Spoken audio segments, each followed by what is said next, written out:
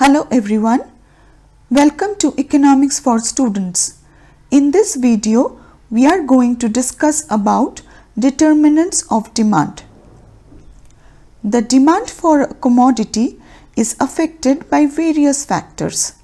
These factors are known as determinants of demand. Let us now see what are those factors. First factor is price of the commodity. It is denoted by the alphabet P. Next factor is income of the consumer denoted by Y. Then price of substitutes and complements denoted by PR. Tastes and preferences of the consumer denoted by T. Size of the population denoted by U. Distribution of income denoted by D and expected change in price denoted by E.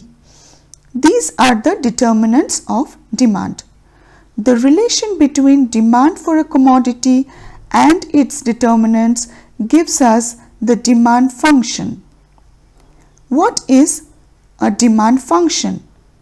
The demand function can be expressed as a functional relationship between the demand for the commodity and the factors affecting it.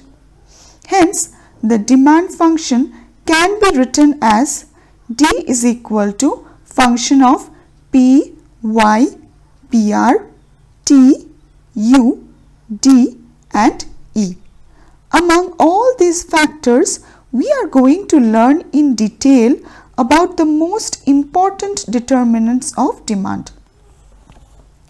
The most important determinants of demands are price of the good, income of the consumer, price of substitutes and complements, tastes and preferences of the consumer.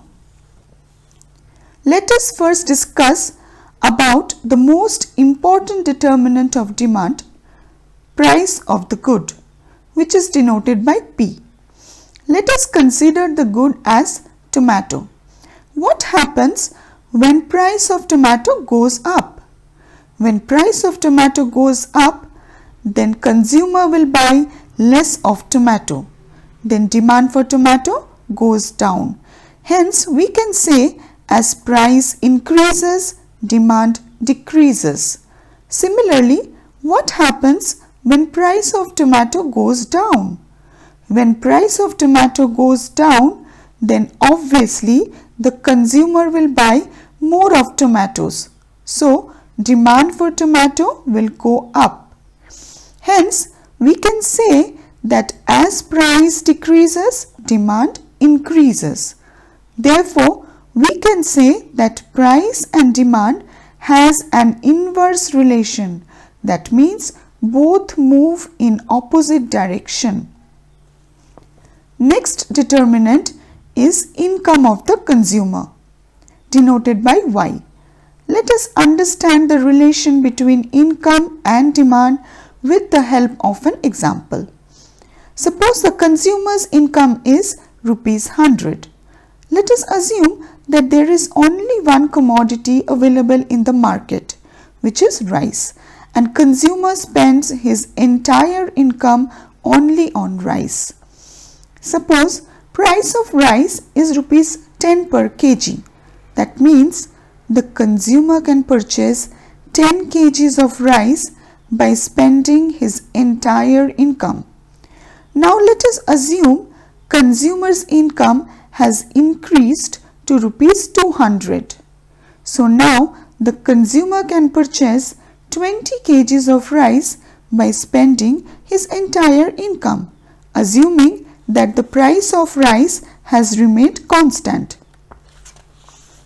Therefore, we can say when consumers' income increases, then demand for good also increases and when consumers' income decreases, demand for goods also decreases.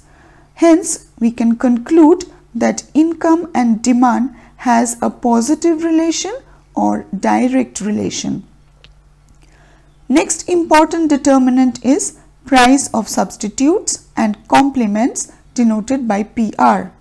First let us understand what are substitute goods and complementary goods.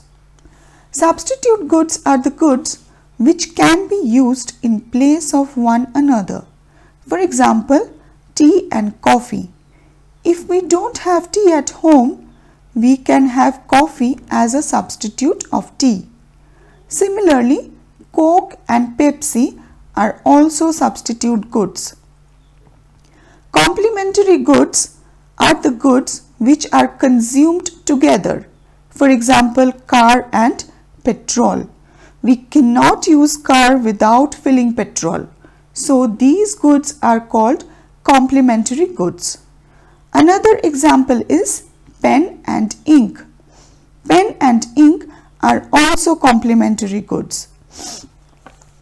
Let us now discuss how change in price of substitute goods affect the demand for a commodity.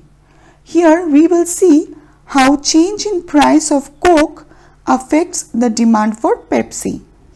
We are assuming that price of Pepsi remains constant, only price of Coke is changing. When price of Coke goes up, then demand for Coke goes down.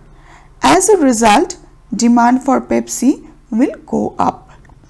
Therefore, we can say as price of Coke increases, demand for Pepsi also increases. When price of Coke goes down, then demand for Coke goes up. As a result, demand for Pepsi will go down.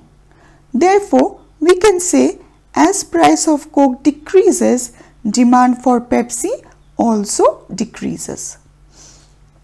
Now let us see how change in the price of complementary goods affects the demand for a commodity.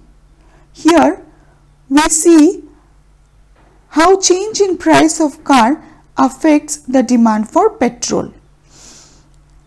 We are assuming that price of petrol remains constant only price of car is changing. As price of car goes down, demand for car goes up. As a result, demand for petrol also goes up. Therefore, when price of car decreases, demand for petrol increases. As price of car goes up, demand for car goes down.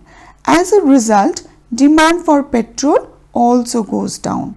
Therefore, when price of car increases, demand for petrol decreases. The last determinant of demand is taste and preferences of consumer denoted by T. The consumer's likes and dislikes habits also affect the demand for a commodity.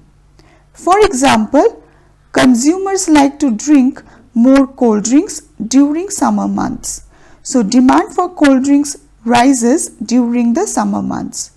Similarly, demand for hot coffee rises during the winter months. Thank you for watching this video.